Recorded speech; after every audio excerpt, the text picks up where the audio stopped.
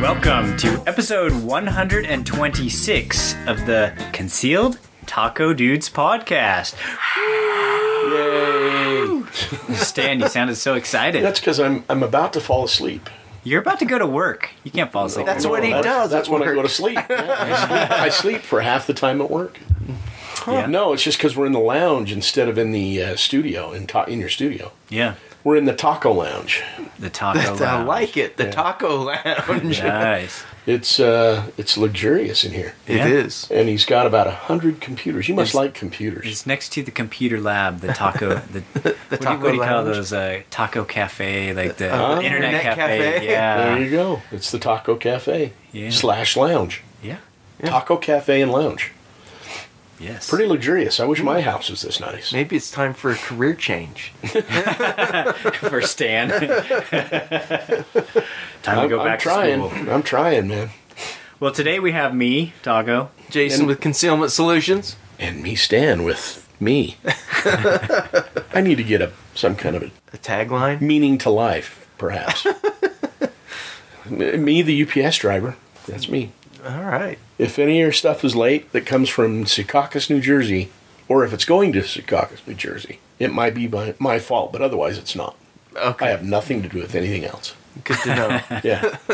anyway, so how we doing? Yeah. So let's let's go ahead and hit some sponsors real quick. All right. We are not in the NOE studio, but they're still a sponsor. Yeah. NOEBulletMolds.com. Yep. They make some of the coolest bullet molds and reloading casting utilities. Mm-hmm. Yep. and if you go down and visit him in Provo, you can see the famous Concealed Taco Dude studio. Yeah. And he's got some good stuff in there. And you could get your picture taken outside in front of the Concealed Taco mm-hmm. Dude's billboard. Mm-hmm. And if you buy me lunch, I'll come down and, and take a picture with you. Ooh. But there must be food included. I haven't had breakfast yet. you know, we're going to get requests. Okay, I'm going to be there. Stan, I'm bringing you a burrito. Okay. I'll work for burritos. Now, no one cares. Are you Yeah. kidding me? Tangents aside. Yes. Tangents aside. NOEBulletMolds.com. Yes. Use coupon code FLT001. It'll save you a few bucks. yep. Also, keep keep an eye out for some steel molds that they are tooling up, and they're getting really close to producing. I talked with Al the other day, and he was asking which molds to to run first in steel, and I thought it'd be cool to get a 300 blackout like the Taco Bullet Yeah. because you could use that in you A could lot of use different if you use stuff. lead, you could use it for subsonic 300 blackout. If you use zinc, you can you know use it as a supersonic. Stan, raise your hand. Can we, can we can we use it in the 762 by 54R? Zinc bullets better than lead, right? Maybe. I don't know. Would- would it be 311s should- or we should- 312s? It it depends. I see. To be determined. Yeah. Ah, okay. With zinc, I, there's there's a lot. I'm still kind of a noob with zinc. Yeah, yeah, yeah. So Yeah. I need to do some more casting. We need to. But I'm excited to get some of those molds in uh, steel, Steel. so I can do more zinc casting. Cool. I have some zinc ingots ready, uh, you know, to melt down and, and use. We call them zingets. Zingits. Yes. I like it. and uh, so I need to melt my zingets and make some zinc projectiles. Taco, are, are you wearing a rug? That can't be your real hair. He's wearing a rug, isn't he? I That's know. not real. Come on. So, It's his Elvis wig. It is. It's Elvis hair. That's the thickest hair I've ever seen. I need a haircut. Yeah. D- did you get plugs to enhance what you already had? Plugs. Yeah. Come on, the hair plugs, you know, to make it thicker. No one can have that thick No hair extensions. Oh, oh, it's because They call oh, extensions. extensions. I was going to say it could be your heritage, right? My ha- hair. Heritage. anyway, back back on topic. Yeah. just So he's gonna run some hair in in nine millimeter and uh, thirty some thirty cals and then a, a two two three bullet. That, Cool. That looks like it'll Those be. sound like good ones to start with. Yeah. So, anyways, yeah, they are doing that, and they're also making a two liter bottle, like soda bottle adapter that will sit on top of a press. So if you're sizing bullets and you're sizing, you know, with Oh, the push that through, way. Yeah. yeah, then you just put that on top of the die, and then you put your soda bottle, two liter bottle on top, and then you have like a big reservoir for That's brilliant. yeah. That is. And I like that rather than making their own bottle to try and make more money, they're like, hey, we'll give you something so that you can use what you already have. Yeah. NOE is is really part of the Green New Deal. I'd heard. Isn't that part of the Green New Deal? Yeah, it's reduce, Biden- reuse, recycle. Yeah. So they And that's the reuse. Biden and. Harris. That was their idea. was the, the bottle recycling program. Yeah. What, what's it? One trillion for that? I think they've they've assigned. Yeah, I'm sure some of that's Yeah. I'm coming all that- for, I'm all for it. way. I'm going to call my congressman right now. Hmm. So, anyways, coupon code FLT001. Yep, 10%. Awesome. Utah Air Guns, utahairguns.com. They're just, they ma- sell awesome You got to get me one. Yeah, Sure. after after shooting like that one time with mm-hmm. Jim, Yeah. and Carl. Heffelfinger, my Yep. my buddy. Yep. He's not our buddy. Well, he, he can be your buddy too, but he's my buddy first. Okay. Yeah. He's everybody's buddy. Come on. He is. Including Steve Frenella's Yes, buddy. yes. My Which- other my other buddy. Which we're still waiting for the, the hookup there. I think Yeah, it's I Jim. think that's called the transitive property. Like you're friends with Jim. Oh, yes. Jim's friends with Steve. Therefore- therefore you are friends with mm-hmm. Steve. There you of go. course. I think that's how it It's works. perfectly I'm- logical. Well, I'm, I'm I'm friends with Bob Redford still too. So you guys are all friends with him. Bobby? Bob. We call, we just call him Bob. oh, yeah. Okay. All right. Did he consult with you when he sold A couple of times. So he well, one night he came in. He had a girl there, and he was saying, "What do you?" It's after his divorce. Oh, huh. And I was cooking him dinner, and he, he asked, you know, so what do you think of this girl? I said, I think she's great. You should marry her. didn't he? Didn't take my advice though. Maybe that's because you dropped his steak on the floor. He didn't. know about that. Nor did he eat any of it anyway, because they were in finished the bottle of wine and they were gone. Uh-huh. Must have had pressing matters to attend. I'm sure there was something very important to. to Yeah. Yep. take care of. Don't know what it was, but So you tire guys. use coupon code I'm doing this on purpose. You know that. Use, I don't do it. Utah, use the code Air Candy and it'll give you free shipping. shipping Which and if- turret stickers. If you And live on the yeah. other side of the country and you're ordering an air gun, that's saving you a ton. Because shipping prices are not coming down, people. Mm, nope. So, yeah, In fact, I've seen less traffic already. I think. all that cheap gas, you Yeah. know. yeah. You know, it's. Uh, I mean, it's not empirical, but you know, more just sort of anecdotal. But it seems like there's less traffic on them. yeah. Well, diesel in uh, Mifflinville, Pennsylvania, was five ninety five last week. I had somebody I was talking to the other day. They were thinking about going to the Bay Area, San Francisco, for Mm-hmm. a family vacation, and they were doing a little research and saw that gas was eight dollars a gallon, and they're like, Oh, "Yeah, no, not not doing that." Mm-hmm. So yeah, guess it is impacting it a little bit, but Mm-hmm. yeah, Yeah. So Utah Air Guns, yeah. Cool stuff. If if you're in Utah, come down to the go down to the showroom. You- Well, bring your checkbook and go down and, and, and try out some of the guns Do, because they're. do they take checks? Personal Well, checks? this- you Well, might want to even bring use your checkbooks anymore. bring your plastic. Plastic. Bring, Yeah. your, bring Yeah. your card or your Bitcoin. Ooh, Uh, I'm hip. Do they take Bitcoin? That's the question. I'm sure. They're just so heavy to carry that I just don't even. But anyway, you, yeah, go. You try one. You, you'll want one. It's true. I've never been with anybody or around anybody who shot an air gun for the first time that either didn't buy one immediately or was like, okay, what do I got to do to get one of these? I've been resisting on I know. purpose just to show restraint. Uh, but do you think they do they trade trade ins? I've got a couple of Red Ryders that oh, yeah. probably trade in. He's got quite an antique collection Does he? of air guns. He does. Mine are probably antiques. They're from when So- I was a little kid. you yeah, know? see? So- Yeah. Anyway, uh, who else? Black Ice Coatings at blackicecoatings.com. Gun finishes galore. Excellent work. Yeah, cool stuff. Uh, dips, coatings, Teflon. Yep, all that good stuff. Give him a call. Call Lee up. Tell him you want it slickery, but uh, you should definitely be getting some Teflon, if nothing else. Did I tell you guys what one of our? Pl- I still got to talk to Lee to okay it. But what we want to do with our young men's group is Oh. we're gonna the the boys are gonna come over and we're gonna build like a couple couple guns like AR-15s, and then we'll go down to Black Ice hopefully and uh, get a tour of the facility. Have them show us all the different colors, patterns, you know, hydro dipping, Teflon coating, Cerakoting, all the things that are possible, and then we will have the boys pick how they want to design the the How the guns colors are and gonna be finished? Yes, Cool. And then we're gonna leave like a couple guns to to get done, and then uh, later on when they're done, we will uh, they'll come over here and we'll either make some bullets or we'll just load some ammo and I'll teach them all about the ammo, the process, the parts, the components, the powder, you know, all that stuff. And then so they'll make the ammo, then we'll go out to the range. Well, we'll do a safety day first and you know talk about gun safety and everything. But then we'll go and uh, shoot the guns that we built that they designed. that they designed Very cool. and then the with ammo that Yeah, we they- that, that they, they made. Yeah. Wow. cool. These kids, So- these, you know, these kids are going to be addicted when they get older. I like it. They're the future. We need more of that. They're The gonna first one's free. That's right.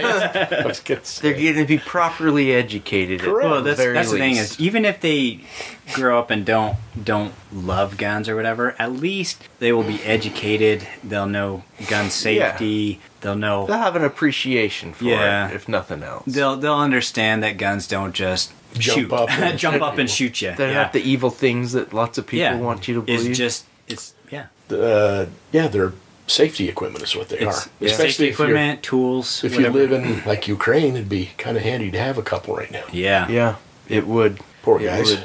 So, anyways, blackicecoatings.com Yep. and Tell them you want it slickery. tell them you want it slickery. Magholder.com. Magholder.com. Get in, Use get in the van. I have candy. horizontal mag carriers, and he's got a new line of belts Yeah. that are pretty slick. So go check out Mag Holder. Uh, and are you wearing his belt right now, or no? I'm You, no, you, you can say yes. No one knows. I, but I'm Of not. course he is. I'm actually, I'm actually not even wearing one of my own belts right now. I'm wearing a cheap webbing belt that I picked up mm-hmm. because I've been losing weight and I'm between notches on my.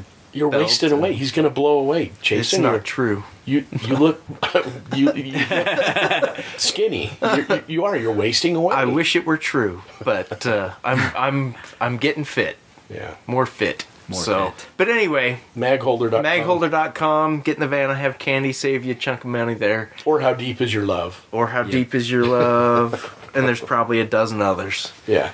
Concealment Solutions at concealmentsolutions.com.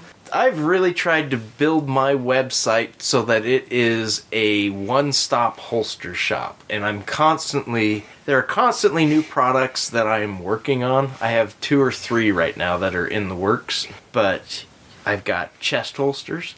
In fact, the chest holster, you buy the, the, the kit mm-hmm. and it is basically a Cobra outside the waistband holster that comes with the chest harness and our quick clips, so you can put it on your belt or take the clips off, put it on your chest harness. So does it fit Either- between your chesticles? It does. okay. It, it So lifts it- and separates. Lift and separate the chesticles. exactly. All right. I like it. Yeah.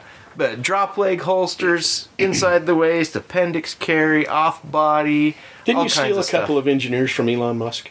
Yeah. Uh huh. In your R and D department, that's what they're doing. Yeah, that's okay. exactly. Exactly. That's a tough. Uh, that's a tough steal, man. yeah. It pays pretty well, I understand. Uh huh. um, I do have. We have an event coming up, the 25th and 26th of March. So that is almost two weeks, week and a half. I guess depending on when you're listening to this. uh, we're doing an open house, spring cleaning. We did one last year. Over the years, so we've been in business 11 years plus. Things pile up. Make a holster wasn't right because I didn't use the right kydex or the right leather or I made it right-handed. It was supposed to be left-handed.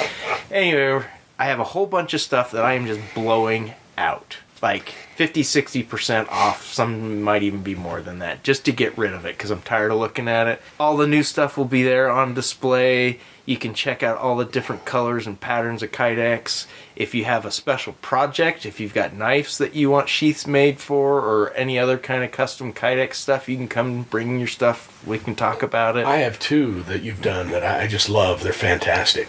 To holsters. Two, uh, what? no, two knife sheaths. oh, Yeah. really? Yeah. I don't even remember doing them. Well, see, now that's that's how important I feel. Thanks, Jason. Thanks for not noticing. Uh, no, but you, what I'm saying is, you're an artist. You you you can do it on the spot. Probably while I watched, right? Uh, I could, but I won't. Oh, you don't like to be watched? no, Okay. I don't. I don't need that kind of pressure. Gotcha. But you can drop off the knife and he'll make Yeah. he'll make you a, a really killer sheath for it. Right. So anyway, uh, come check it out uh, Friday and Saturday, the 25th and 26th, and save some money. Tell your friends. Get an them down. autograph. Jason will sign them for you. Sure. Some of them come signed. I know all Yeah. mine are signed. I know. Mine are collector's That's items. because I care, Stan. I know. I've got mine in a case on the wall. Oh, you don't even use them. No, Uncle Mike's for you. no, I get I get the Blackhawks, the Serpas. Oh yeah. Those are the good ones. Uh-huh. But I keep yours in a in a locked case. And have you bronzed any yet? No, that Oh. would that'd get rid of your signature. Oh, that's true. Yeah. anyway, what's your uh, Concealmentsolutions.com. Use the code. flash mob? Show me the candy. no, no flash mobbing, and you'll save fifteen percent. Cool. Nice. Anyway, now that we've blasted through, we've blitzed through our sponsors at a blinding pace. Yes, Let's move on to listener feedback. let's do. All right. I have some listener feedback. This first one is from Matt H. He says, Listen to a really good interview of Logan Metesh, Metesh from High Caliber History on a recent We Like Shooting podcast and thought he would be a great guest for the Concealed Taco Dudes podcast. He hmm. used to be the curator for NRA's Firearm Museum and is a gun historian. From a personality standpoint, I think he would fit in. That's cool. We so should- he's not super sharp, then, is what you're saying. Yeah, he said has- personality, not Oh. intellectually. Oh, okay. Yeah. So, yeah. uh, yeah, they kind of go hand in hand.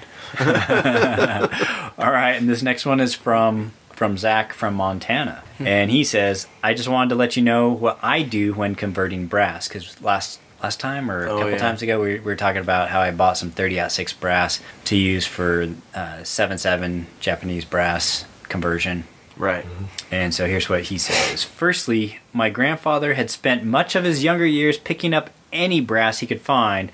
So after he gave it to me, I have tens of gallons of cartridges I don't have firearms for. That can be solved taco style. Send him here. So you can either buy all the guns to fit the caliber, Right. Or, or just send him or Convert it. Call, call me says- at 555 5555. He says, uh, but some of these cartridges I don't have an interest in, so I convert them to others. Here's my process for 8mm Mauser from 270 Winchester. Firstly, I trim the brass to be about 1 8th of an inch longer than spec. Then I reform the brass in my 8mm die. I then trim to final spec. After trimming, I chamfer the case mouse, then anneal. A tip on annealing is to observe a 556 case and try to anneal a little less than that, as you don't need to anneal that much, but it's a good guide. Annealing is absolutely necessary for case life and for this next step to work. Then I run through them or run them through my full length sizing die again. This sounds unnecessary, but the more you move the brass, the more it will spring back. So when I only resized once, the brass would only chamber with force. After annealing and resizing again, it chambers as a new cartridge would. That's interesting. Why not anneal it before you size it to begin with? Uh, well, I don't know. It depends because you'd have to cut it. I guess to anneal the right spot, knowing exactly how far down to go. Right. And then he says, uh, I then proceed to load at any load I wish, including full power. Some cartridges need a light load to fire form them, but that is only if some dimension of on the formed brass is undersized than the cartridge you are reforming to.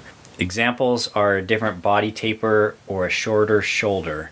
8 millimeter made like this lasts me a long time and puts uh, puts some use to my four gallon bags of 270.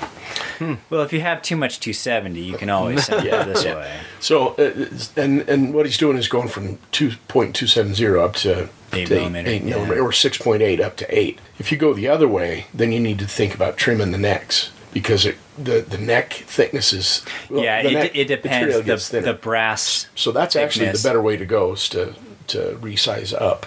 Yeah. So Uh, he says, How I kneel is I set a damp rag on the bench of my shop and use a propane torch to heat the cases at a 45 degree angle, pointing the torch at the shoulder. I spin them in my hand, holding the base, and count how long until the heat line moves to just below the shoulder, and then drop it on the damp rag low tech, but when annealing brass like uh, like this, it's next to impossible to over anneal as it will get too hot to hold uh, long before that.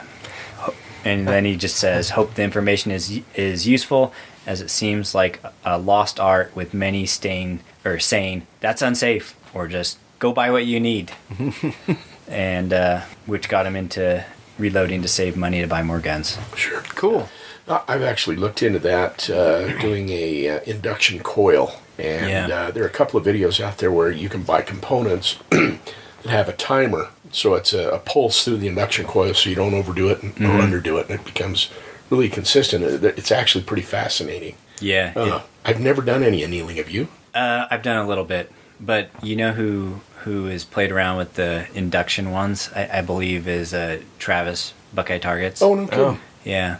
Hmm. So Call. I think he was doing a what was it called, the Annie Annealer or something. Anyways, Yeah, I mean, you can actually buy the commercial annealing mm-hmm. through indu- induction, but you can also buy the components and do it yourself, which I don't know seems appealing just for the yeah, sake of learning how to do it. But yeah. It does. I mean, it does save save uh, your brass life. It makes it last a lot longer before the the the next split. Well, you know, we're going to have mouse to do a lot more of that because there's no brass to be found. It is so hard to find. Yeah, Gunny's is Stuff's starting to show they're back up. they're getting brass trickling spotty. in. Like thirty six brass was was gone for, and two seventy brass was gone at like sold out everywhere Mm-hmm. locally for a while. But I, I was just at Gunny's and talking with Wyatt, the, the manager there, and and I, s- I scored a thousand small pistol primers. Oh, nice. Yeah, so they do have some primers. Was that today? No, it was last uh, last week. Oh, because I was there on Monday and they had small rifle magnum. Yeah, small rifle magnum, small and rifle. 209s magnums. Yeah, and they had large pistol magnums. So. Yeah, it, it does seem like it's showing back up. stuff is showing up, but he said that they're just not getting like all these orders that they placed like a year or two ago. They're just getting partial fulfillment like On now. those? Yeah, Wow. it's just crazy. So Well, they do have a bunch of nine. I've not. I mean, yeah, it was like 20, 20 bucks or nineteen bucks. well, for, 30, 35 cents around for the case, brass. Okay. Thirty cents for st- steel. Okay. But they had stacks of it, stacks and stacks. Yeah. yeah. I wish they had that much. Well, they, and they have some uh, five five six, but man, it's just 53, 54 cents around, which isn't bad. yeah, Um, so go to Gunny's. That's not good. Gunny should, It's not bad relatively. yeah, yeah. relative- Well, and you think about inflation and stuff too. It's Yeah, yeah. it's hard to know what things should cost right now. Well, yeah, I, Yeah. Don't, I don't see it. I don't see the prices coming back down ever. Yeah. Yeah, he was he was saying that even at like the what was it sixty seven bucks or seventy around seventy bucks for a thousand primers, then he said the markup on them is like hardly anything. Minimal. Yeah. Yeah. he said he's just the prices are higher now, and that's what he's he's paying just a little bit less than that. So Yeah, love Gunnies though. Yeah. absolutely. It's up in Orem. Mm-hmm. Check them out. okay, So that's that's really good information. Um, yeah. And they, they have gotten a lot of projectiles in, so Yes. it just it's nice to see stuff start rolling in. Yeah. You know, ammo and reloading. You know what they had that I haven't seen forever on a shelf? Hmm. A uh, Mini 30, Ruger Mini 30. Oh, they had a few of those. They had yeah, like five of them, different stocks. Yeah. uh, Ruger's kind of stepping up. It's nine hundred bucks though. I bought my first Mini for like three hundred and fifty. Yeah. You know what I've I've found there's kind of a shortage of right now? 44 mag revolvers. Hmm. Like if you if you look online, they're like sold out. If you look at the gun shops, they're sold. Sold out. I'm like, what's up with like 44 mag revolvers? Like where are they? It's kind of weird. That's because forty one is really the. No, there's not The- the one 41s you either. I have one. But- Do you have one, Doc? Taco? I, I do not. You have something Taco You know- doesn't have? Uh, that well, Taco, that's too bad. I have a 41 mag. I know I've I've got that Blackhawk, and I've thought getting a big boy, the, one Mm-hmm. of the steel ones, in 41 would be a cool combo. Yeah. Well, I just look at the 41 and it's like, why not get three bigger? Yeah, but it's it's Yeah, bigger for- than a 357 though too. Yeah. Well, the 500 is bigger than the 44. also. yes, but it's it's sort of one of those boutique. they're true connoisseurs. Stick with the 41. I, I will teach you all about it, but we don't have time. I'm sure you have a 327 also. nope. Do you have one? No. I'm, getting, It's, I'm getting one. yeah. No, I- uh, that should be a badge of honor. I have something Taco doesn't have. Yeah, we'll make you a patch. Yeah, if you have like a if you shoot 357 a lot, it's like why would why go down to 327? It was tra- it was traded to me by my father-in-law. So Yeah. All right. So that that makes you part Cherokee, doesn't Yeah. it? Uh, I'm, I was already part Cherokee before that. It makes me more Cherokee Oh, because of the gun.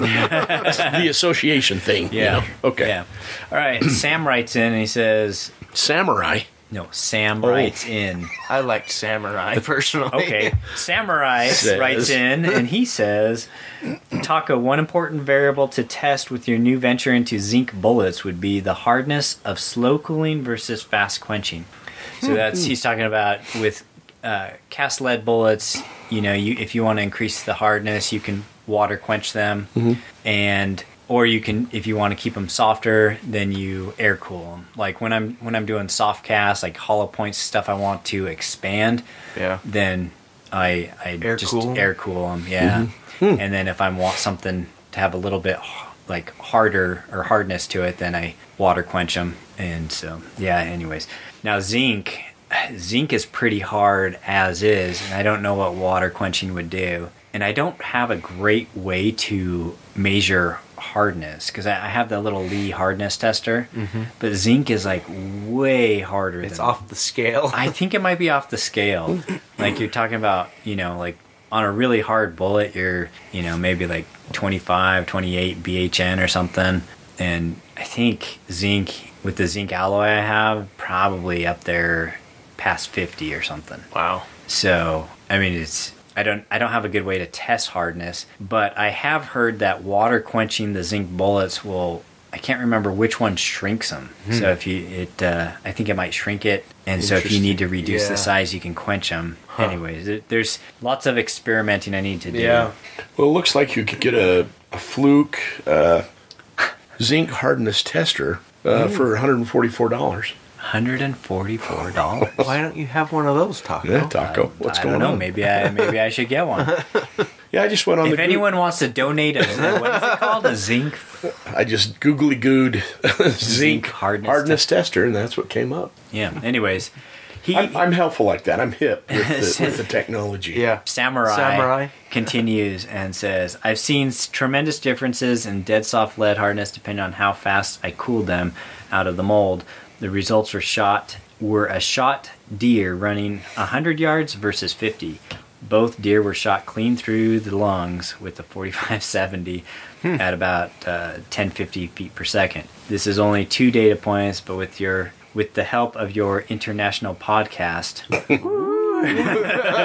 we could get more. Maybe maybe Steve uh, Rennell might know something about it. Should we ask him? Yeah, Maybe. when, when he comes on, Okay. yeah, we'll definitely make a note. Talk to him about that. Samurai continues and says, If I could remember what I searched to find the article, I would link it to you, but somewhere out there is an article from somebody that tested hardness after cooling bullets both slow and fast before and after powder coating them, which is obviously an annealing process. They did this for lead and gave interesting results. You could continue this with zinc now that the government is trying to strip the world of lead. Yeah. It's probably one of your videos that got It's actually there's there's a good video series from TATV Canada, and he, he used to do. I don't know if he's still making videos, but his he's all of the the bullet casters have gotten real big hits on their channels, like Right. videos deleted, channel strikes, Yeah. etc. So I don't know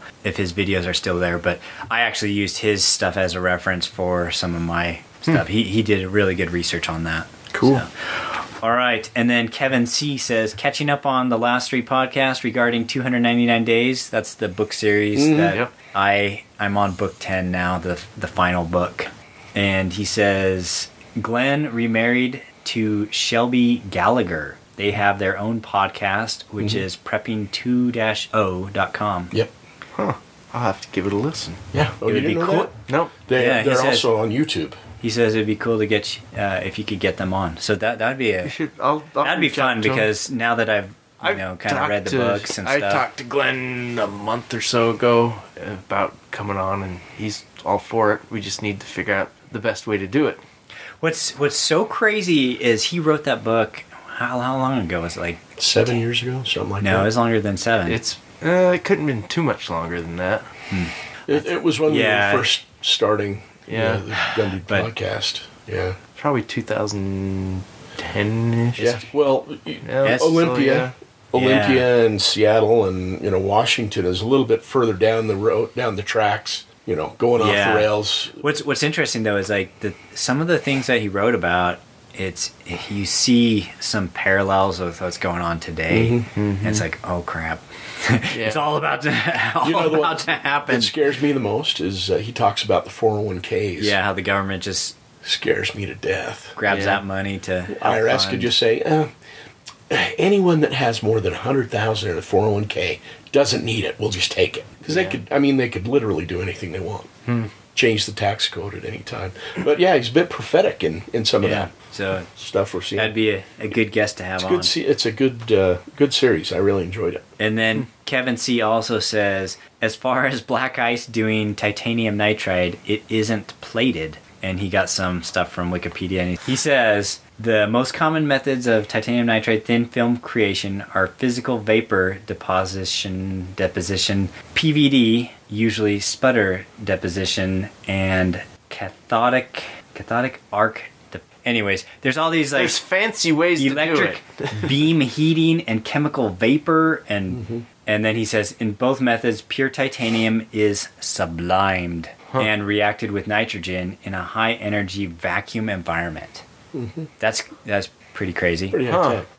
and then he says So i'm basically, guessing what he's saying is it's not an easy process. He says- It requires some technical. i'm guessing those are pretty Stuff. speedy setups Yeah. and i'm not sure which process produces the chalky glassy surface finish keep up the great podcast The shiny, chalky. the chalky glassy I forget what it was. Something like uh, rigidly flexible, chalky, a shiny chalk. Shiny, shiny, dull finish. It's a it's a dull shine that I was talking Yeah, about. dull shine. Yeah. Yeah. Uh, good times. Uh, really good questions.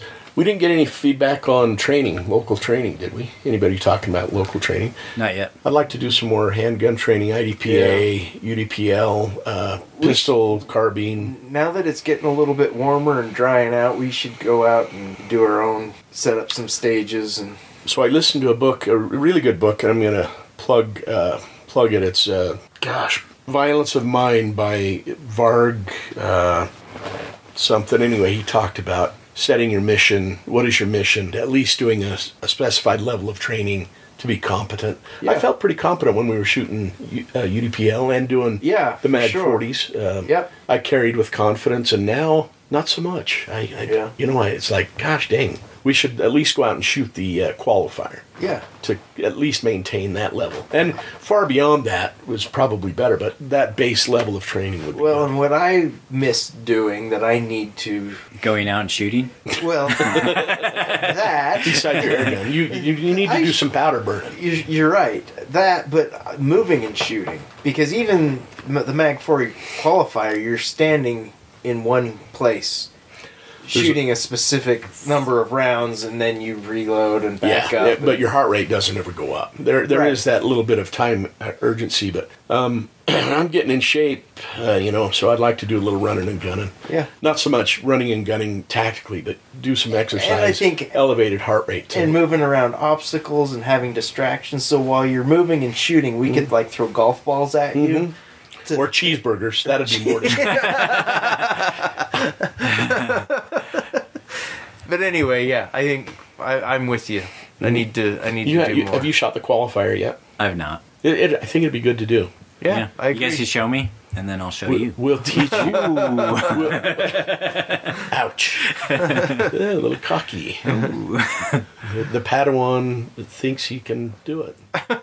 Actually, I think we're the Padawan. He's he, he's teaching us. He- he's, he's got I, more. I've. It's been a while since I've been out shooting handguns. yeah, But I'd like to do a carbine course again too. Yeah, Um, agreed.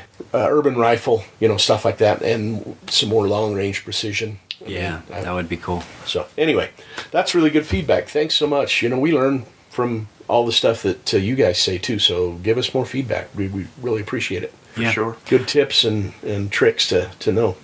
Okay, so we have a lot of stuff just laying on the floor and against the couch. We're gonna try We're and gonna play hear and tell. we're gonna do Hear and tell. yeah hear and hear and tell. and uh, so, So we're what gonna we did with guns what is we did that with where we're guns at? and yeah our, our show and tell, but they don't get to see. I'll go first. You go I'll first. be quick. We'll try and go. Th- yeah, So, I'll, I'll even go th- I, through my. I brought my my Talon P, my Air Force gun, because I added stock or not stock. The stock. You did add there. a stock. I did add a stock, but we know that I uh, added sling mounts. So I added a sling mount to my stock. Oh, cool. Yeah, and then Now this is your custom stock that's on your website. it is. Do you have any Yeah. of those in your uh, throwaway bin? I actually I don't have any in the throwaway. Actually, you know what? I do have one that's got a cosmetic flaw. I'll take it. do you have a Talon P? Not yet. Okay, get one and I'll hook you up. Well, I want the one with the discount though. I don't want to pay full price. I don't want you. I don't want you gouging me like you do every night. Right. Anyway, so you, this is an, an addition. You just put It's an addition that you could put sling. on to the to the stock. So it's yeah, that's Not- just a sling I had. that- that's a nice around. little yeah, Allen. Just a nice little padded Allen sling. Yeah. Cool. it matches really good. You have that camo, and then you have like zombie green on the. It doesn't, it doesn't match Did this uh, did this come on the gun? The handguard Yeah, is the on handguard. the gun. I So drilled a hole drilled in it? the handguard to mount that. Wow, that's pretty technical. Drilling a hole. You know what? I took it off, I don't know, Stan. And- you you changed barrels on a gun. That's right. and because Savage. it's an I'm a gunsmith, injection basically. molded Yeah. handguard, there was a little circle depression in there from the the form, Would you say it which was, was the perfect mark for. Oh, that's where I need to drill that hole. Would you say it was like a dimple? The opposite of a nipple? It was like the the opposite of nipple. It was a, a, a dimple. exactly Okay. I also replaced some foam in some of my presses, and therefore I made myself some more shooting blocks. Those are good. You They should sell those. Uh, I have one. I just used it yesterday or Good. Saturday. Yeah. Yeah. Awesome. I made a, a, a tiny one that's kind of goofy shaped. I don't know if it'll be worth while or not, but Oh, I don't have. Yeah, we ought to get a picture of it though. Uh, you, you you let me try Yeah, the, the- the- prototype. It is really nice. I like yeah, it. no, There- I, I I have You have one mine, too? and I use it a lot. Yeah. I like it. Is that all? Is that all you did? that, I, I picked up a generator. That's not uh, that's not That's prepping. guns. That's prepping. Which one did you get? So I, I was trading with our friend at the pawn shop. He needed some holsters, and he had a Ryobi inverter, 2200 watt inverter. Which the inverters are nice. They run super quiet. It's about the size of a, a small suitcase, Small cooler. Yeah, yeah. like a small cooler. But an inverter produces clean energy, so you can plug. It has um, uh, what do you the cords you plug your phones in with? uh, USB. Yeah, has Mm-hmm. USB plugs, so you can plug your phone right into it. You can plug a computer into it. But it's gas like powered, that. right? But it's gas powered. So I was really happy to pick that up, and it was uh, it was a pretty good deal. So Awesome. I need to do some testing with it. It should run my refrigerator just fine. I'm going to see if it'll your run freezer. Yeah. a uh, see if it'll run. I've got these electric uh, oil heaters. See if it'll run one of Yeah, those saw 'em, and yeah. stuff like that. So Radiant heater. yeah, Yeah. yeah, radiant heater. So anyway, Love it. that's what I've done with guns. Well, because yeah, let, I'll do. Let me go next, and then Okay. Taco can have. We can leave. We'll- Taco we'll can do the rest. Yeah. so I reaches recently reaches recently acquired a uh, Mosin Nagant again. What? Reacquired. Yeah. oh, And I took it out shooting Saturday. How was it? Uh, it's it's fun. They're they're fun guns. what what kind of ammo were you shooting? The? Barnaul from uh, Gunnies that was thirteen dollars uh, three weeks ago. Now it's fifteen. oh, Yeah. dang. but I, I just buy, I got a couple of cases. Um, and I found some PPU brass. I've got 50 pieces coming. Oh, nice. What else? Uh, yeah, so I got a sling and I got the gun, the cleaning kit uh, to go on the gun because you, you need a sling. So I've gone. I went on eBay and picked up uh, a sling and, and the cleaning kit and something else I can't remember. But um, so- oh, the brass. So I'm gonna get some dies and we're gonna do some lead with gas checks or maybe Mm-hmm. zinc, Yeah. something like that. But it'll be a fun little gun to to, to load for. Um, you know, it's just old. I mean, just, uh, what is it? Ninety years old. Oh, that's It's almost as old as you. I know. but I also the, it was my uh, my middle SERP day, so I took my SKS out too. Oh, cool. I, nice. I, I still like the SKS. Yeah, I have not shot mine in years. It's a blast. Yeah. Yeah. And oh, they had uh, 760 by 39 Wolf at Gunny's cases of it. nice. I need to go get some. How Just- much? How much did 300. So you just recently picked up the Mosin Nagant? Yeah. What What did you pay for it? I'm not allowed to say, am I, Taco? It's fine. Yeah. Oh, did you buy it from I Taco? bought it from Taco. Oh, okay. I just bought it because it was from Taco. Okay. I'm going to try and get him to autograph it. I'll, s- I'll scrape it with my knife. yeah, so that it'll be collectible. you know. Okay. But Oh, uh, cool. No, actually, he gave me a really good deal. Uh, three ish, three fifty. No, it wasn't that much. Wasn't it? It was Yeah, three twenty five. Yeah, something like that. Okay. Yeah, kind of a steal. Okay. I mean, I've seen them for four or five hundred. They're they're crazy expensive now compared to is what they were. This Pretty- is in great pretty, shape. like ten condition. years ago, you So could pick them up for almost it- nothing. I was shooting it at uh, like 50 yards just to check it. The old eyes don't do real well on, on Iron irons out sights. that far, which is why I, I just realized why I don't have a lot of iron sighted rifles. I just don't have the eyesight for it. So I put my glasses on, then the front sight's blurry, but I can see what I'm shooting at. Yeah. There's a there's a thing. So Mas talked about that having bifocals on the top. Yeah. So as you look down, you, the bifocal is on the top. Your normal distance is is on the bottom. Right. Uh, but that's more for handguns, I think, than a rifle. I think it would apply to a rifle as well. Well, but the problem is, yeah, I could see the front sight, but then anything beyond it would be fuzzy. Right. But Anyway. that's but that's how you're supposed to shoot, right?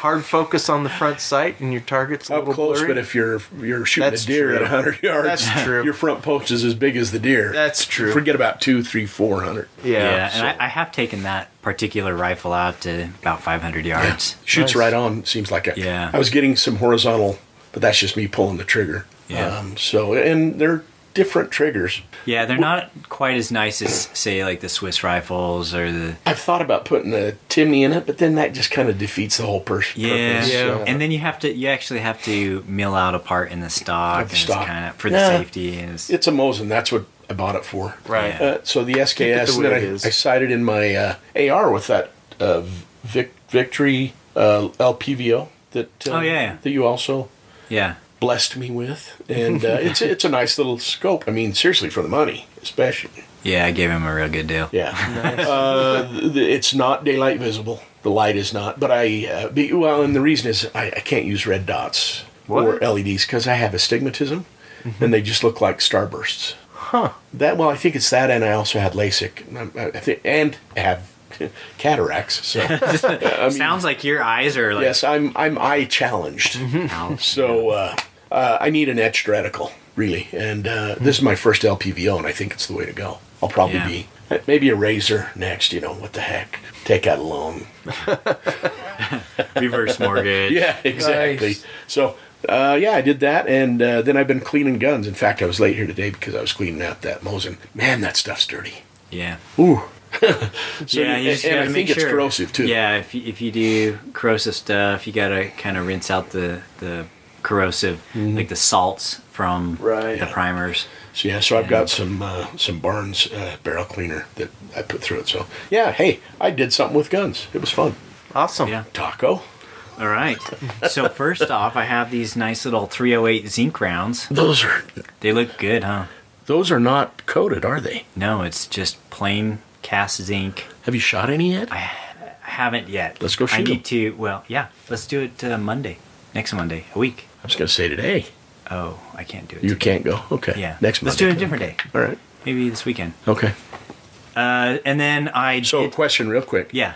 Uh, I've seen videos on uh, guys using 308 uh, instead of 311 or 312 in the the Mosin Nagants. There is a little bit of accuracy degradation. Mm. Yeah, Johnny's because- reloading. Yeah, you have your bullet bouncing around in the A little bit, li- yeah. A little bit. Rattling down the barrel. But Yeah. uh, at 100 yards, he was getting an average of like three inch groups versus two and a half inch groups with the 312, which is pretty acceptable in my book. Yeah. But anyway, But it might be nice if, depending on how the zinc, you know, turns out, you know, maybe we'll do some 762 by 54R with some zinc bullets. Yeah, but 311s. And these these would normally co- uh, weigh about uh, 150. no no no. Normally they would weigh in lead about 220 225. Oh my gosh. And in zinc, same size but just in cast in zinc, they're 137 138 grain. wow. So, so it's weird because they're a big bulky bullet that weighs less. It's a long Yeah. bullet. yeah, it's a 300 blackout bullet. I, I, I really want to shoot those. I, Yeah. I want to see what they do. So, oh, it's the 220 grain Yeah. mold. Yep. Awesome. So so that's why I, I load it in the 308 case because there's a little bit more case capacity, so you can put a little bit more powder. In 300 blackout, I don't know how fast you could get them going. They're lightweight, but they take up a lot of case. Yeah, yeah. Yeah. Yeah. So How, how much does uh, zinc cost? Can you buy zingots? the Is that what you're saying? Zingots, I, I don't know where you'd buy them, but most tire shops, that's where you'd get them. Get zinc Gotcha. and then Gotcha. you got to process them, melt them down. It takes quite a bit more heat Uh-huh. to melt it down, and I, I think I posted something on Instagram that shows like how like make sure your sound is off, but it it shows how like wet the zinc is, if that makes sense. Like the uh, there's a little bit. Uh, you you know how if you get your you stick your hand in water, then your hand comes out wet, right? Mm-hmm. But I'm with familiar. So Yeah. you stick your hand in zinc and it comes out wet? it probably would if it came out And at all. cooked medium rare? Yeah. Or medium. You could chew But- that. the zinc actually sticks to the clips and so yeah i have a Clips. Oh, the, that go on the wheel weight tire. clips Mhm. yeah the tire yeah but in when you're melting lead then the clips like float to the top and they just there's they don't stick together at all Huh. the lead doesn't stick to it so So the process is a little, so it's a little bit more time yeah it's- consuming. It's, well yeah it's more time consuming takes more heat so that's more propane or whatever you're using to Right. get it hot and then as well it's the you get s- uh, some more waste because some of the zinc sticks to the clips Stays as you clips. skim it out Uh, so Huh. just it's, it's weird it's a different metal a different alloy and so it, it behaves a little bit differently so anyways i got to get those fired through this gun that i recently picked up from our mutual pawn shop Yeah. buddy yeah. I pulled And- into the parking lot and somebody's car was in my spot. Which which pawn shop is this? this is a vip, VIP pawn. pawn. it's right next to utah air guns actually It's yeah, about a block from Utah Air Guns. On that same side. same of the street? side. Yeah. Yep. Hmm. Next So- to the tattoo shop. Gotcha. Oh, I know. Yeah. yeah Yeah, you know stuff. Yeah. I'll have to stop place. there on my next uh, tattoo run. yeah So You I- bought that from the pawn shop? no Oh, he okay. he's, my preferred ffl Oh, I see. Gotcha. So I get all my guns Okay. shipped there.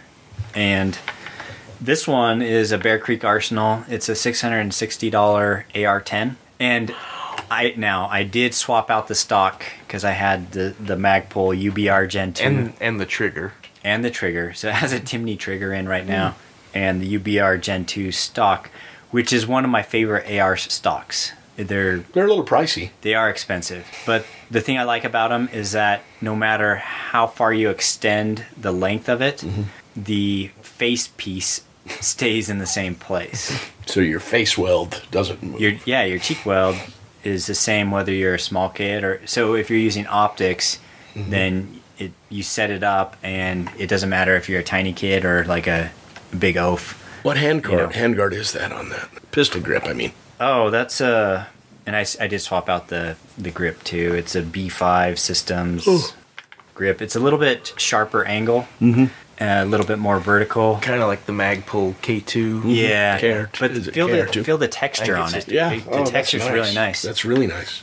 So, and I threw on one of those Athlon BTR Gen 2 6 to 24s. Yeah, That's kind of my go-to if you want like a kind of like a long range or long distance shooting scope with uh and save a few dollars. yeah. That's how much that's are they running now? You know, I, I'm not sure. Gotcha. I've I've got one too. The Gen two that your uh, elevation knob's much nicer than on the Gen one. Oh, on the Gen 1. Yeah. Yeah. So I have about like five of these scopes. The- I I like them. Yeah. Have you seen the Arken I've not played with any of the SH4? Arken optics yet. for four hundred bucks? Yeah. That's about what these are going for, I would think. It's a good looking scope, Yeah, and I, I love mine. I mean, uh, anyways, It doesn't massage your eyeball. Yeah. like- you want to see it? I've played. Yeah. it. Like a U.S. Uh, optics or something like that. But yeah, if you, you know, for it's non-professional, it's kind of a budget type long range shooting scope. So I threw it on there because I figured, you know, if I'm gonna oh, and this is the rifle I'm gonna be doing my zinc testing with. So if I if I burn out the barrel or whatever, then it's, it was only a, a an inexpensive, you know, Bear Creek Arsenal right. which barrel. I've had good luck with it's a little heavy. Yeah. uh, but it feels like a great gun. and then I've been happy with stuff I've got from Bear Creek. I don't have any issues with anything I've had. Now, if I get a, a bullet mold from Al from NOE, a steel one in 223, then I have this AR-15. It cost me 350 bucks. Also from Bear Creek. Bear with, Creek, with the lower. uh, just ev- total The everything. complete gun. Yeah, free floated handguard, Side charge. and side charge. The side charge actually feels pretty good. It does. It, feels like an AK-47. I prefer Like a- side charge uppers for my ARs. I think the side charge it now it is reciprocating. So if if Yeah. you're a lefty, you don't want to have your yeah, hand it's over a little there. intimidating. Yeah, if, if you're a lefty and it's yeah. Right next to your eye. But yeah. my my side charge uppers are are left-handed, so, So and that's they're also a li- reciprocating. That's also a little heavy, but they these are CNC. They're not uh, they're not forged. I presume they look different. The lower, Yeah, and the, upper lower obviously. is is machined It's a little different. It's a pretty meaty lower. yeah. yeah, it is. That's what I'm saying. But I, But I kind they of could- like it. They could remove a lot of material right there and, and material and make it lighter. But other than the super bright uh, yeah, engraving. Yeah, for the logo engraving is like It's like an blinding. eye- it's a blinding eyesore kind of. But that's an but- easy fix, also. Yeah. Oh, I thought you uh, had Press them some put color. paint in or something. No, like it's that. it's Like, just engraving. No, that's just the aluminum. yeah. I've never seen that before. but you could you could throw some. An easy fix would just be to put some fingernail polish in it and then wipe off the the excess. Absolutely, Um, 350 bucks. You Yeah, uh, you can't go wrong with that. no, I mean, seriously, unless it doesn't work. unless it doesn't, and it becomes But- a paperweight. Yeah, I, I've read some good reviews on Very those. nice, very nice. I like it. Then I also, while I was there, uh, the transfers came through for the Yeah. PTR rifles. he he made several trips with guns out of the shop to his car when he was done. This one is the PTR 91. It's the 308 rifle, and it's got the forward side charging, Reci- non-reciprocating. Non reciprocating. yeah, This is the G3. a G3 clone? clone? Yeah, made by PTR Industries. Hmm. So That's a good looking rifle. yeah, and it's it's not. I mean, it's heavy, but it's not I, I too think heavy. I want one of those. Seriously. Yeah, this I don't know. It has iron sights. I don't know if you can see. That's true, but it's got a diopter too, Yeah, which oh yeah, that's much better. yeah. Uh, no kidding. That's a that is a So nice, that one's. nice you know one. how How much was that one? it was uh, thirteen-ish. Oh, I think. okay. Oh, that's why you wanted. You were going to rape me. No, you offered sixteen hundred, and I said, I said, oh yes, I'll sell it to you for sixteen hundred, and I'll even throw in ten magazines. Interesting. Yeah. Now that uh, that mag. So I've never had one of these before. Never touched one. Actually, I've seen a G3. How do you put the mag in? Oh, It's like it a slight rock, like an AK forty seven, but not. that. That's kind of hard to reach ergonomically. That's different than what I remember. I, I mean, I've had one before. Safe is up, down is fire. That's a good looking rifle. You've Yeah. you fondled it. But you know, uh, a while back we talked about you know guns we were that were on our list Yeah. for the future, and I mm-hmm. said a, a 308 battle rifle. Yeah, Yeah. That's That's that's, it? it. Yep. that's it. I, I wouldn't I wouldn't necessarily call that Bear Creek AR-10 a, a, A a battle 308 battle rifle. No, Well, let's see how this shoots. Yeah, it supposedly they shoot pretty decent because they have really good barrels and stuff. So when we when we go test the zinc, I'm not going to throw zinc in there yet. Yeah. Till I What's this on it. right here? This- These those uh, are your takedown. takedown pins. Yep. That's interesting. So that the PTR 91 that uh, shoots 308. It's it's Mhm. pretty cool. The magazines are pretty cheap. They're inexpensive. You know, you can get them for like Oh, see, it, it comes with a rail though. yeah, The rail's and, built in, so I and c- you I can actually get a cheek riser that pops in the two holes Okay. in the stock. stock. Yeah. Gotcha. So it has two pins to hold it in place. Now this one right here is the PTR 32, and uh, this one is the cool thing about this is it shoots 762 by 39. So the AK round, the SKS round, Looks like it takes AK mags. yes, and it takes AK mags. Nice. So it's right now I just have the the P mag in there, but I've I've tested it, some of my Korean mags, some uh, what was it? Uh, I think I have some old Yugoslavian mag. Like I have all kinds of different mags from from all around, and they all seem to fit fine. Now the, the construction of these is interesting. Yeah, They're welded. yeah. It's That's interesting. I've never seen one like that. Uh, you haven't shot them yet, have you? I haven't shot it yet. You know, I like AKs, but uh, this That- might be a better way to go. That's kind of Yeah. a, a nice nice little gun. That's Yeah. really, really It, slick. it feels like and solid. ergonomic and solid. Yeah, Yeah. and it's not rattly like an AK. Yeah. although- No, not at all. like AKs. That's I mean I kind of like the rattle with an AK, but Yeah. Uh, more intelligent. Uh, in this adjustable gas blocks on both of them, or no? Because the FALs you can adjust. Are these these are not adjustable, are they? you know I I'm not sure. Doesn't look like it, but it, it's a cool sounding gun. I, I won't you agree, audience? They they sound awesome. So hopefully once Stan and I take him out to shoot, Jason's invited too. Then He's uh, fondling the tip of your barrel. the nipple of it. I mean, That what? sounds that sounds horrible. uh, so this is your uh, MDX MDT that you were talking about. yeah. The it's a different chassis. XRS, yeah. Yeah, it's That's your of- 22 Creed. Yep. Ooh, I really like that. Yep. Guess now I think I can get the stock. I can afford the stock, but the the uh, scope might be a little bit out of my league. That's a Razor. It's the old generation razor. Oh, is it? Yeah, it's a Gen One Ooh. razor. Wow, have you tried this? Uh-uh. That It is feels good. phenomenal. Ooh. So, So it's, it's I highly recommend that chassis. this is a 22 Creedmoor with a uh, uh, in in a, a Savage yep. In the uh, X MDT XRS stock. That is wow. That's going to be a varmint killer. Yeah. So it's a XRS chassis, Yeah, but love that. if you haven't seen those before, I strongly recommend taking a look at them. They're, See my my LS. they're a little bit more expensive, but they feel great. Is that just a like a sun? It's the sunshade. Sunshade, yeah. Okay. yeah. Yeah. I think my my vortex what was it? Anyway, one of my scopes has got one. Very nice. And You were put it threw you on the, the the heavier bolt knob. Oh, did you? Yeah. You know, I, that. I actually like the Hog Hunter better. yeah. And this seems like it's too big. Oh. If- If you pull on it, it it uh, can sometimes bind it up. Yeah, it's the the thought is like you can you can kind of work it with a couple fingers. Yeah, yeah, yeah. Yeah. That's yeah, that's what I have on mine. But uh, yeah, we need to. Uh, have you been able to find any 22 Creed brass? I've been changing or converting six. I found some six. I, I kind of don't want to do it though for accuracy. I'm wondering how much difference it would make. Yeah. The I think they have Peterson brass that's that's available. It's, oh, I haven't it's seen really any available. expensive. Uh, yeah, otherwise I would have got some. But I just got some. I got some once fired six Creedmoor brass Yeah.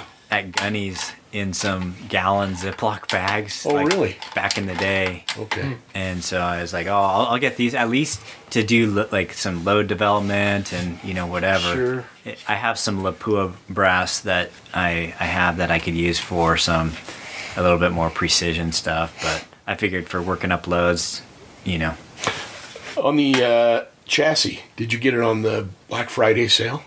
I actually got it through our buddy Kenny. Kenny. Um, yeah, Eagle Eye Shooting Channel. Oh, no kidding. Yeah, so when he when he he's the one who installed the barrel for me. Yeah. And then I told him I, I could use a chassis, so I, I ordered it through him. Well, you should have had me in, install it. I'm a I'm a gunsmith. Well, now. you you weren't a gunsmith back then. you only recently became You, a you, gunsmith. you hadn't had your training yet, Stan. I know. yeah. It- So- it's going to be interesting. We we have a lot of work ahead of us. yeah. So I guess uh, you know that's that's going to be part of the you know this year's 2022's activities is doing some 22 Creedmoor, some shooting of some zinc bullets and That's stuff. kind of the theme of the year. Yeah. 22. 22. 22 Creed. Yeah. wow. But Jason We, wanted we to, planned it. to talk a little bit about, you know, stuff that's going on today Yeah, in I've the world and how it affects us. Yeah. And now, Jason's Corner. Well, a lot of things have changed in the last couple of years, right? with with COVID and and all the stuff that's that's happened and the way things are still kind of up in the air with a lot of stuff, you know, people I think people's mindset on a lot of things has changed. And then I've noticed also with uh, with what Russia's got going on over in Ukraine, What's what's going on over there? uh, just a thing. You just have a little scuttle or something. Some people did something just a dis- over there. They're having a little disagreement, Stan. a little one. but uh, I've noticed uh, a, a difference in a lot of the way people are thinking and things that they're doing, and I wanted to talk to with you guys uh, if you guys have noticed any s- things that are different or things that mindsets that have changed and i would really like to hear from our listeners what they're seeing one of the things there's a few things that that have came to my mind in the last couple of weeks but local grocery store here for one they they have an annual um, Case lot sale. case lot Case lot sale. sale, yeah. Yeah. And and so my wife was looking at the flyer and was like, "Oh, look, they've got these 25 pound bags of flour that she likes that was on a good deal and you can buy cases of canned beans and all that kind of stuff." And so she went she went down there 3 or 4 different times. So the sale goes on for 2 weeks. Mm-hmm. And they never had any of the stuff that she was looking for. In fact, they didn't have hardly any of the stuff that they had advertised. And finally, she says, "Hey, what is going on? Where? Why don't you have any of this stuff?" And whoever the manager, whoever she was talking to, said, "Well, we ordered what should have been a two-week supply worth of all that stuff, and it was all gone in three days." Mm-hmm. And I was like, "Holy crap!" That's Didn't th- they say that they ordered some, but it didn't? They didn't receive. I think there was some stuff that didn't. Yeah, they just like shortages. Yep. Mm-hmm. Shortages of stuff never never even arrived that they were expecting to have. So stuff like that kind of perks you a little bit and like, huh, maybe I need to be looking at things a little bit differently. Also, like I've, I'd mentioned, I'm been teaching these classes at uh, at our church on preparedness, and so I sent out a few weeks ago a list of different topics and just said, "Hey, let me know which of these topics you're most interested in. What do you want to learn about, and stuff like that." And um, you know, obviously, I think the number one th- topic that people are interested in was, you know, how do I cook with my food storage?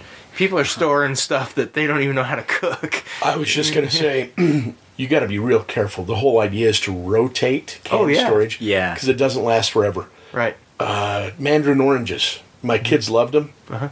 we had two cases. They grew up and we just stopped eating them. Yeah. Uh, end of last year, we went through and we were reviewing our, our food storage. Doing inventory. They ate through the cans and dripped syrup down on all my other stuff. Oh, Two full cases. It ate right through the cans. Wow.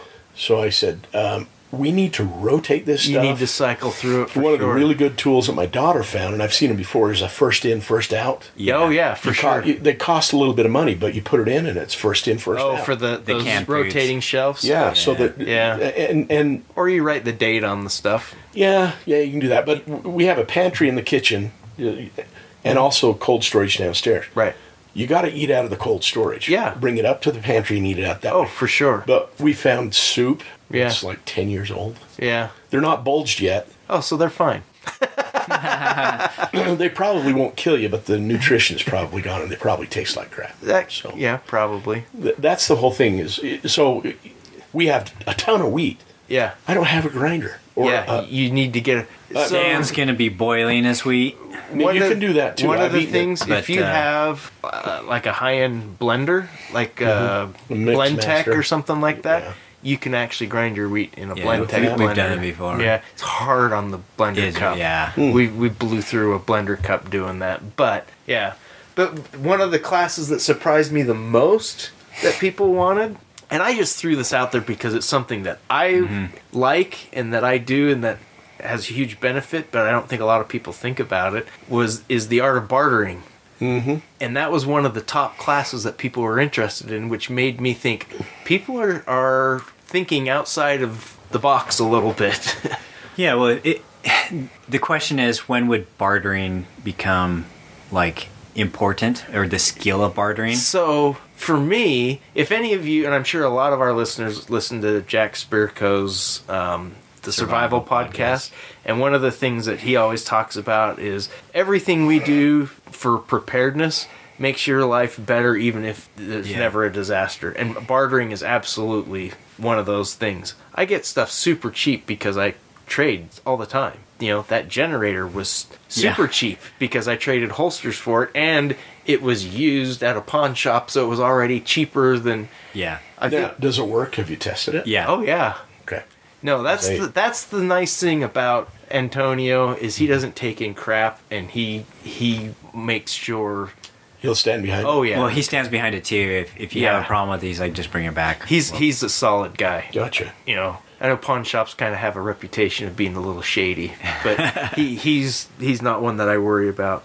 But uh, so yeah, the art of bartering, you know, and what to barter and and how. Even if nothing bad ever happens and our economy stays stable, it's still It's still a good. Yeah, it's a good skill. it's a good skill. It's money saving. It both if you're doing it right, both parties are benefiting. Mm-hmm. Everybody's happy when you have a good trade, right? Yeah. So See, and you trade for guns I- with holsters and guns. yeah, and I trade. and I trade guns for Trade other guns for stuff, other stuff, and- ammunition, whatever you know, skills. If you that's the one thing people don't realize. Also, when you talk about bartering, you're like, well, I don't have anything, and it's like, well, what skills do you have? Mm-hmm. If you're if you are a mechanic, a plumber, an electrician, in in a time of crisis when our economy goes in the toilet, you will be rich Oh yeah. because those are things those are skills that everybody needs that not everybody has. And and people will be willing to trade you whatever if you know if times are rough and you need a plumber because your plumbing's screwed up you know and and everybody's like hunkered down in their homes yeah you're gonna have that plumber over and be like how much how much you know wheat or flour or beans do you want in exchange for getting my plumbing back you Yeah. know It depends on your situation, and and Glenn's book actually kind of highlighted it a little bit.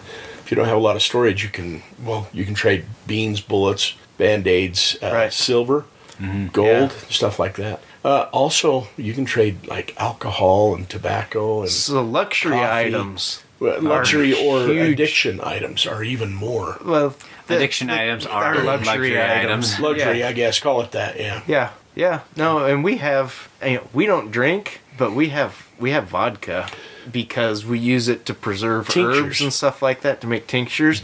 It's also good for sterilizing stuff and things like that, and it's a good bartering item. You know, I actually looked at a, a still. You can buy a still off of Amazon. Yeah, You can make your own. sure. But I was thinking of u- using it You just. got to be really careful and know what you're doing. Yeah, yeah, yeah. But I, and there's there's a lot of information out there. But uh, I recently got a CPAP. Hmm. I, I'm sleep challenged because I'm so fat. I'm sure. And sight challenge. Inside challenge. I'm old. I got one foot in the grave, the other one sliding towards it. But I, uh, We might have to put stand down. soon, That's what we're saying. please do me do a, do a, a guy solid. if I start talking like Joe, put me down. Oh jeez. Um, but no, what I was trying to say is, uh, for a while there, I couldn't find distilled water. Now you Really? can boil it and cool it, but it's not actually distilled. See, we have a reverse osmosis system. That- so we, that's all we drink is filtered water. Uh, Well, filtered is different than distilled. Not Uh, if it's still. reverse osmosis. there's no mineral in it whatsoever. Okay, so that'd work too. Oh, There's a lot of waste with it, unfortunately. A lot of wastewater. oh really? Yeah. What do you mean wastewater? So as it goes through the filter, it separates the clean water it goes into whatever you're filling, and then there's wastewater that just goes down the drain. Weird. Yeah. I didn't, why, why would it waste? Just Like all the stuff that gets filtered. Yeah, Oh, okay. all, all the crud that's it's taken out, it's got to go somewhere. Anyway, finish the thought. Distilled water, you can use distilled water. And I don't, I don't know if you'd be running a, a CPAP in a Yeah. emergency situation, but you, I mean, you could save money on it, and and you could also make your own alcohol. Um, Yeah. just straight like Everclear. Well, and there's something like there's that distillers that you can get that are specifically for water. Yeah, yeah. But everybody I know that's used one, they always overflow. they always make a mess. So another thing I was going to say with on that topic is Uh-huh. if you have like no useful skills, Yeah. then you will want to either develop some skills, Yep. which you can always learn Yeah. stuff. Or you can do a combination of that and you can get items. Yeah. So if you don't have skills, make sure you have lots of items Yeah. because you don't want to be a guy without items or skills. And the thing of it is, is if if you're sitting there going, I don't have any skills worth trading for, you probably you probably do. You just need to think about it. One thing that is would be hugely advantageous as a as a barter tool, even in not like a major disaster, but let's say just a local, you know, weather conditions, trees are down or whatever. If you own a chainsaw, yeah, I do too. Pawn shop, thanks. yeah, that's huge. Gas and uh, keep a little bit of the, the bar oil on on hand. Yep. The, the gas. So I listened Oil. to Yeah. a podcast. uh, I can't remember who the gentleman was, but he was in uh, S- S- uh, Sarajevo, Yes. uh, Kosovo. Uh huh. Talked about trading bullets for toilet paper, toilet paper for lighters, refilling lighters. The, the- I read that article. You said after well, and when it first went down, after Yeah. a month, there wasn't a stick of wood. Or All the trees were cut down. Yep, in the they- parks. because they had no way to heat their house, their homes. right. Yeah. So yeah, and I- and they said the guy who never went without anything was the guy in the village who knew how to make fuel for lighters. yeah. Well, to, Huh. it was butane that he he learned how to refill just the Bic lighters. Yeah. Yeah. Um. Yeah. It's. so I I I have I regularly if I'm like at the grocery store sitting in line for a while, look. Oh, there's a four pack of lighters. I, I'll just throw in there a few bucks, you Yeah. know. Yeah. They're laying all over the place. yeah. You can't have enough lighters. But yeah, and they talked about the same same situation in Sarajevo. There were days when they would trade bullets for food, and then there were other days where they would trade food for bullets. Yeah. Just depending on what was happening. One other thing time. too that you'll notice in the book there, and if you listen to one second after you did, you you listen Yeah. to that right. People that survive are going to group together. You Yeah. can't survive alone. Yeah, the whole lone wolf concept Impossible. is ridiculous. Yeah, because you can't be up all, all the time. You can't collect wood. You can't um, gather food and protect yourself. So Right. you, you have to sort of compartmentalize and, and, Mm-hmm. and pull together. So it's probably a good idea to get to know your neighbors or For find sure. some that you, you want to go to. Um, find somebody that has a cabin. Now, as far as bugging out, oh, I'm going to go out and kill some deer. There won't be a deer left after Yeah. a week, you know, Yeah. something like that. It's true. but you can gather food, and then Not not in Utah. We we have so many hunters here. Yeah. They're Yeah. Yeah, so in in the long term, you're going to want to grow a garden. You're going to have to learn how to oh, grow Oh, for sure. And learn how. That's another class that we're going to be doing. How to preserve food that you're that you're growing, or you know, in the fall you're going to go buy a couple cases of apples because that's when everyone's got apples, and Exactly. what to do, how to preserve them so that you've got them. But heirloom term. seeds, Yep. heirloom seeds are the one you you got to start with heirloom. Yeah. Mm-hmm. Otherwise, you can't you can't grow anything Yeah. from Well- half the stuff. Yeah, so there are heirloom packs out there Mm-hmm. that you can get. I've got a couple of them. Yeah. Long time ago. Yeah. So anyway, that was. I'm I'm curious. Is are there other things that you guys have noticed that maybe mindsets are changing a little bit based well, on? the crazy thing right now is like gas. Yeah. Gas prices are so high. It's it's kind of makes you wonder with gas prices going high, then the cost of everything is Every- going to that's go gonna up. Like affect food, every- No, no, no. transportation, All, all you have to do is buy an electric vehicle. Then it, won't- then Yeah. electric trucks Yeah. that just charge. You know what I've and been that, looking at? that electricity comes magically through an outlet. Electric e-bikes, Yeah, twenty five hundred bucks, but they look cool. that's a dirt cheap one. Is it really? Yes. Ooh. I, I have friends that have spent ten grand plus on electric Yeah. e-bikes. They're they're crazy. So yeah, the the cost of gas. That's you know essentially if you don't get a huge raise this year yeah, to make up for the increased cost of, of gas and inflation, yeah, then you are getting a huge cut in pay this year, right. and Yeah. so you won't be able to buy as much. So you're you're Yeah. gonna have to make do with less, Yeah. and You know what I saw? Just like um, Saturday night, I went to the jazz game. We we st- Cheryl and I and and, uh, Brandon Lynn. We went to Red Lobster. I'm sorry. I know. I hadn't had crab, so I ordered crab, and I made us late to the game. I forgot. you- They should pay you to eat crab because you have to Yeah, I I'm knew how to doing do all it. the work here. No, I mean I probably lost more calories than I gained eating. That's not true because I ate a whole bunch and a bunch of rolls. But uh, we had to wait 50 minutes because uh, half the restaurant was empty. They didn't have enough wait staff or employees to serve all the people that were there. Yeah, And while we were there, the dishwasher walked out, so they didn't have plates. So you know, like a bread plate to put your rolls on. Yeah. The guy goes, "Hey, sorry, I don't have any plates." just be like, do you, do you have a Paper a paper towel? Yeah, us because that's what we do at home. Yeah, that's well, that's what we used. But uh, I, that and uh, and this is all r- relative to food. Cheryl and I went and had a JCW's two burgers. It was thirty bucks. Now you're talking. Yeah. Oh, JCW's. Oh. um, but yeah, I mean, food has already gone up. Oh, I mean, you can't touch a Big Mac uh, and a, a drink for less than ten bucks. and you and you shouldn't. I know. Stan, this is a different I conversation. use that as just as an example. That all that stuff all takes tastes the same. You know, it all Yeah. comes from one vat Uh huh. At McDonald's. But It's no, it's it's just Soylent Green. yeah, yeah. The, the food is obviously everybody already knows this. This is uh, it's obvious, but Yeah, but I but my whole point in this conversation is I think a lot of people that wouldn't necessarily have caught on a few years ago to some of this stuff are They're paying attention They're paying now. Mm-hmm. a lot more people jumping on the wagon. and they're and they're changing their behavior and their Thought their process. thought process. Oh, I was gonna say, yeah, I, I had a, a friend, neighbor, a neighbor friend, uh, come over, and he's like, "Hey, uh, you know, when you get a minute, I'd like to have you show me, you know, handguns. I, I want to buy my first gun." And so,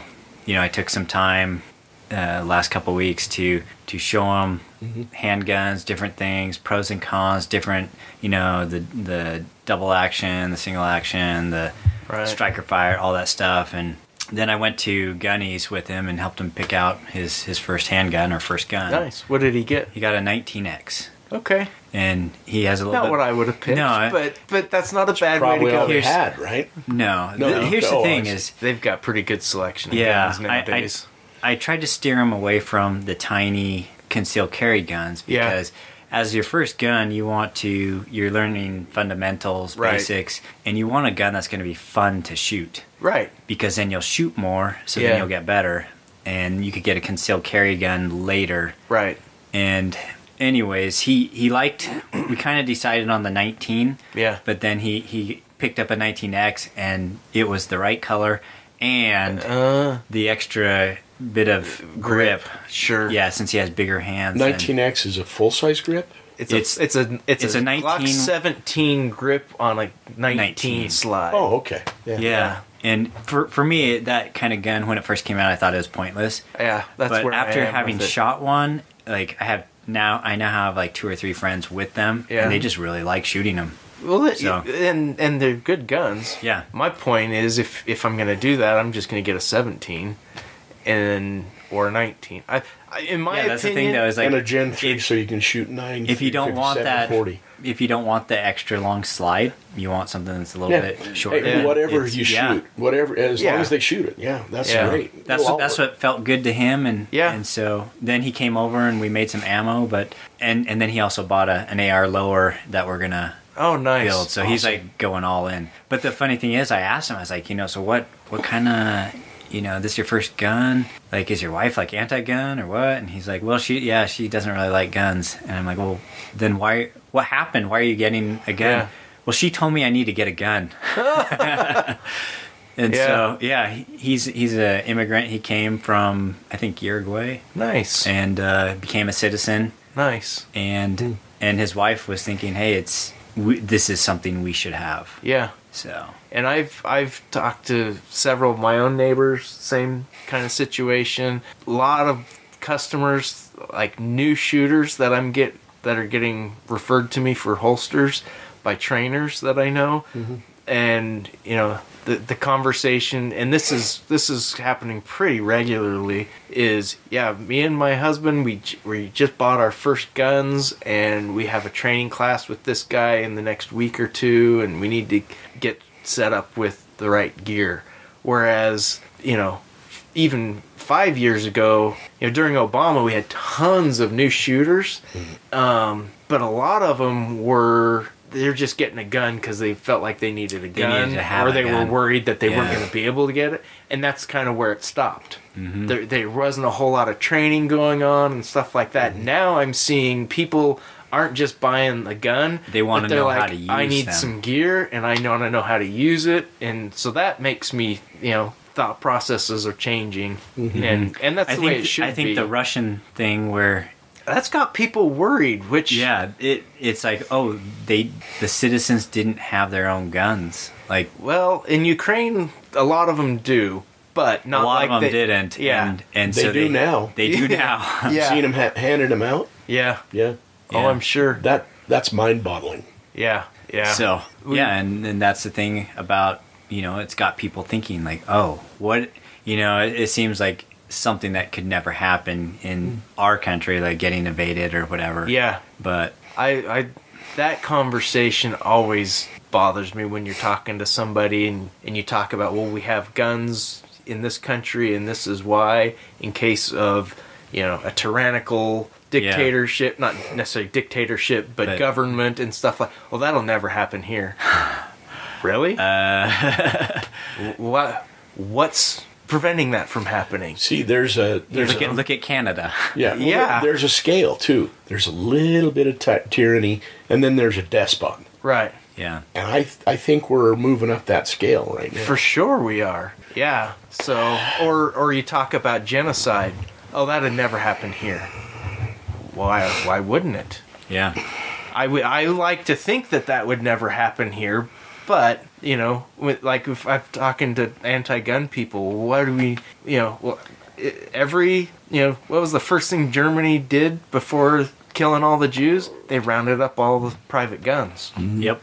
you know and that is well that would never happen here yeah that's because the government's never going to round up our guns not without not without starting a civil war I wonder how million how many millions of ARs are out there now. Oh, there- I mean, it, so it's the many. number one most popular rifle. yeah Yeah. Period. And I, I try every day to help it become even more Yeah. popular. yeah Everybody needs one.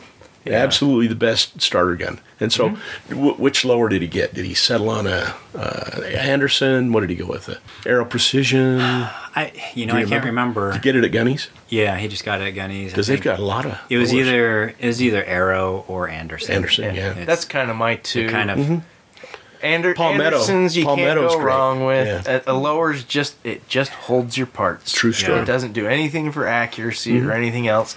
If but an got- Aero is just a little bit cleaner, It a is. little bit Yeah. nicer. The, and if it rattles a little bit, you put an Accu wedge in it. Yeah. if it rattles, it does not affect It- accuracy. yeah, No. it doesn't. It's You're right. Yeah.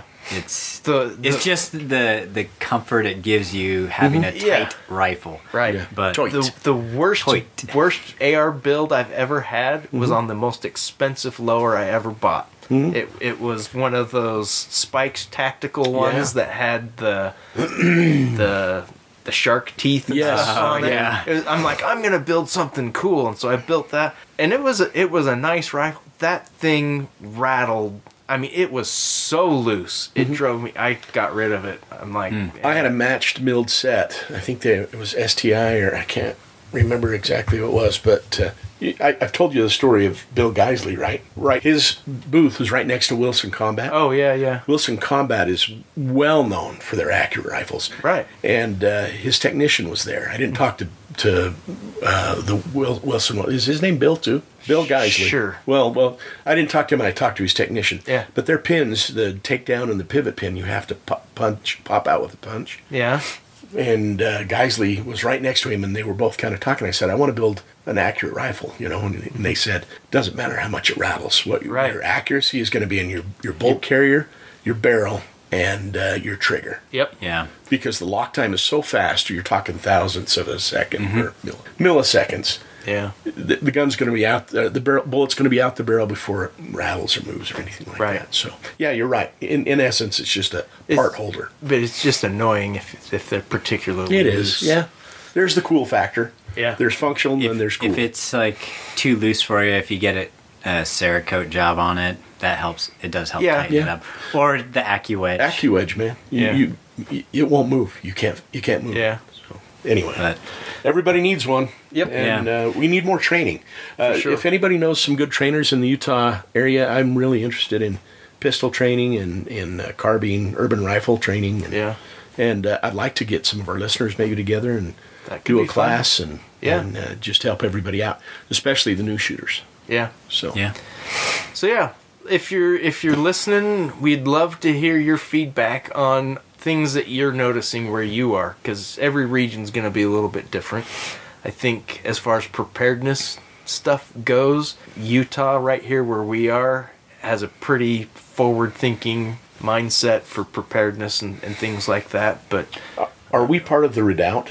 I think we're we're just outside the redoubt because we've got Salt Lake City, which is so the American redoubt, Idaho, um, Montana. He talks about Glenn talks about it in the book, right? I can't remember. You don't remember? yeah, I, I don't know what you're a talking lot about. a lot of freedom people, uh, Sure. people freedom loving, uh, less less regulation. They call it the American redoubt. Oh yeah, I think we're kind of in the heart of that. Well, no, because we got Salt Lake, and be it's it kind of cuts us off from the rest of it. But I would ima- imagine Utah's part of that. Yeah, I would think so. Yeah, uh, freedom loving people like to be on their own. Yeah. Yeah. So So But yeah, let us sa- let us know says what's it's time to on. go, so we gotta go. let us know what's going on where you live and concerns or things that you see.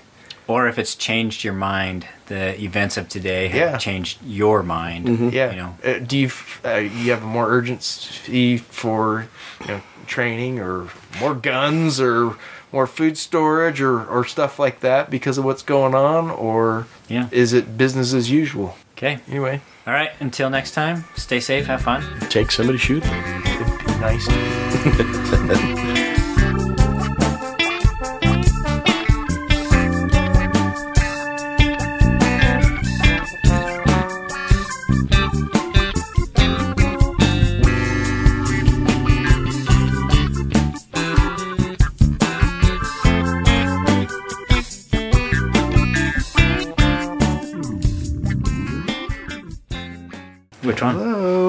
This 308. Yeah. 1600? Okay. Are you serious? And I'll, and I'll throw in 10 mags. You're kidding me. I'm not kidding. Okay, never mind. All right, I meant twelve hundred. I mean, Let's uh, renegotiate. I want to re- renegotiate my contract.